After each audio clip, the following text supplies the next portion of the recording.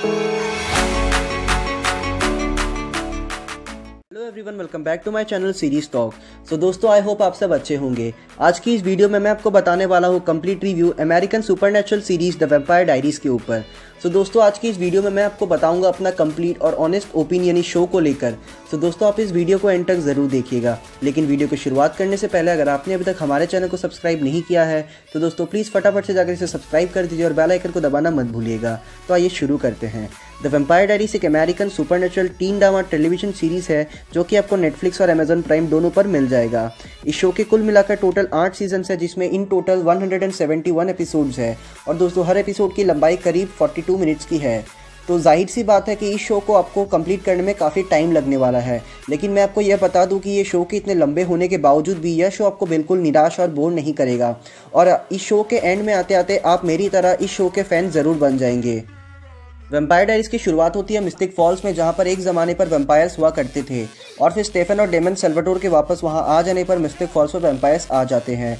Stephen और Damon Salvatore दोनों Elena Gilbert नाम की एक लड़की के लिए मिस्टिक फॉल्स आते हैं, जो कि एक बहुत ही स्पेशल कैरेक्टर रहती है इस शो की, जो आपको इस सीरीज़ में आगे मालूम चलने वाला है।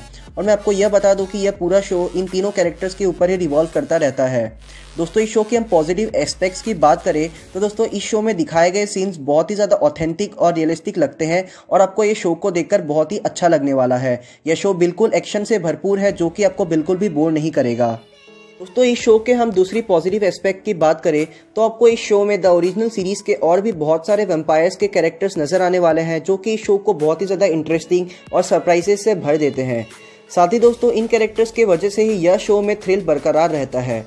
दोस्तों, स्टेफन, डेमन सेल्वेटर और एलिना गिलबर्ट के अलावा आपको इस शो में और भी बहुत सारे कैरेक्टर्स नज़र आने वाले हैं। उन इंपॉर्टेंट कैरेक्टर्स की अगर हम बात करें तो आपको इसमें सबसे पहले Caroline Forbes Bonnie Bennett Matt Donovan Alaric Saltzman Jeremy Gilbert और टाइलर लॉकवुड नज़र आने वाले हैं।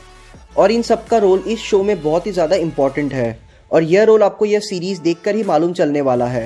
तो दोस्तों कंक्लूड करते हुए मैं यही कहूँगा कि the vampire diary super natural shows में सबसे ज़्यादा ऊपर आता है और आई एम भी इसकी रेटिंग 7.7 है, जो कि काफ़ी अच्छी है। दोस्तों, अगर आपको थोड़ा ड्रामा और एक्शन से भरपूर शोज़ पसंद है तो द वेम्पायर डायरीज आपके लिए ही बना है। अगर आपके लिए ये रिव्यू हेल्पफुल रहा हो तो इस वीडियो को आप लाइक और शेयर ज़रूर करना। और दोस्तों, साथ ही हमें कमेंट सेक्शन में लिखकर ज़रूर बताना कि आपको ये वीडियो और रिव्यू कैसा लगा। तो दोस्तों, इसी के साथ हम जल्दी मिलते हैं अपने अगली वीडियो में।